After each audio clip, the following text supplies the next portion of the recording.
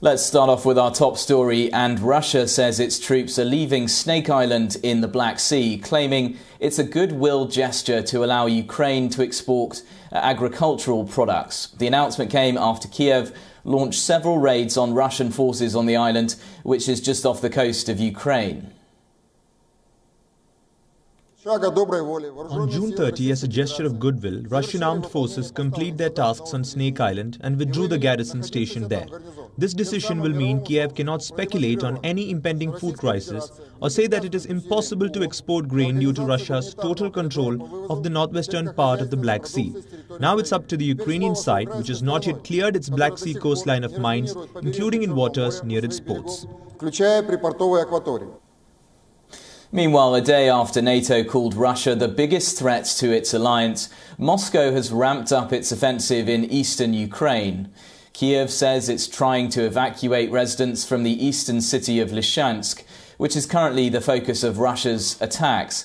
Around 15,000 people in the city are facing relentless shelling from Russian forces. Despite a mounting death toll, though, Russia's President Vladimir Putin says that what the Kremlin calls its special military operation is going according to plan.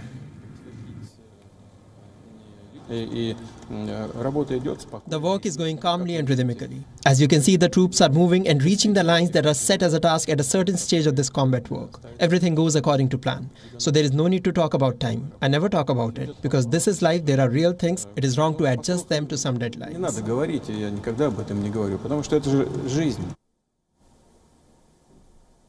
Now, President Putin also claims that Russian forces are not targeting civilian sites. That's after at least 18 people were killed in a Russian strike on a crowded mall in the city of Kremenchuk in central Ukraine.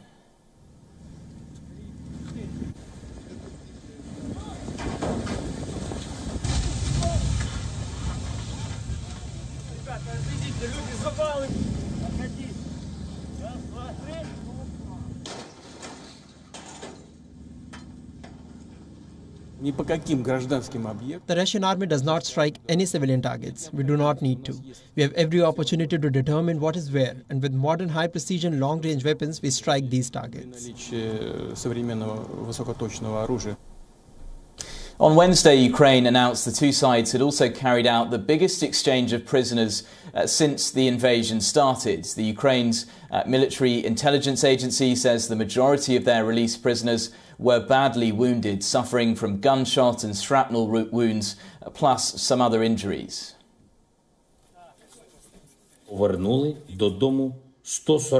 We have returned home 144 Ukrainian fighters from Russian captivity, including 59 National Guard fighters, 38 Navy fighters, 28 Armed Forces fighters, 17 border guards, and one policeman. The oldest among the released fighters is 65 years old. The youngest is 19. In particular, 95 Azovstal defenders are coming home. 95 захисників Азовсталі. Meanwhile, the UK has announced an additional $1.2 billion in military aid to Ukraine. The British Foreign Secretary Liz Truss also called on NATO members to step up their support for Ukraine.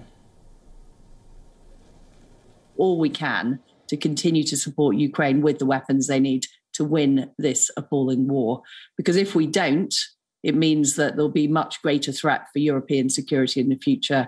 Today, we've announced an extra billion pounds of military aid to Ukraine to help them push Russia out of their territory. And we have to focus on keeping going, keeping the support going to Ukraine, keeping the sanctions on Russia, and really ignoring uh, the rhetoric from Vladimir Putin. What matters is what happens on the ground.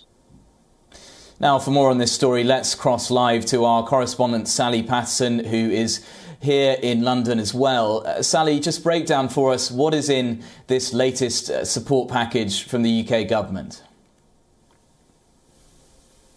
Well, as we heard there, this was a big announcement early local time on Thursday morning, an extra £1 billion or around $1.2 billion.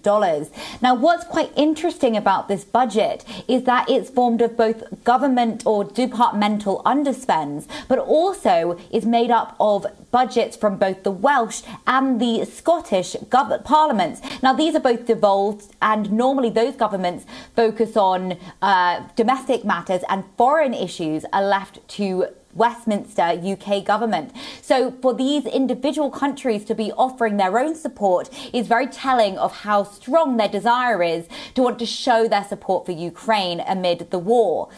And so this total of $1.2 billion roughly doubles what the UK has already spent on military uh, support for Ukraine. They've also spent an additional 1.5 billion pounds uh, on economic and uh, humanitarian aid. So this makes the UK probably the second biggest uh, supporter in terms of financial aid, second only to the United States, which recently promised $40 billion uh, to uh, Ukraine. But addressing the NATO conference in Madrid from video call, uh, Ukrainian President Zelensky said that it's costing Ukraine around $5 billion every month to keep up the war effort. So really there is need, he says, for, for more support from NATO allies in order to fend off Russian uh, soldiers.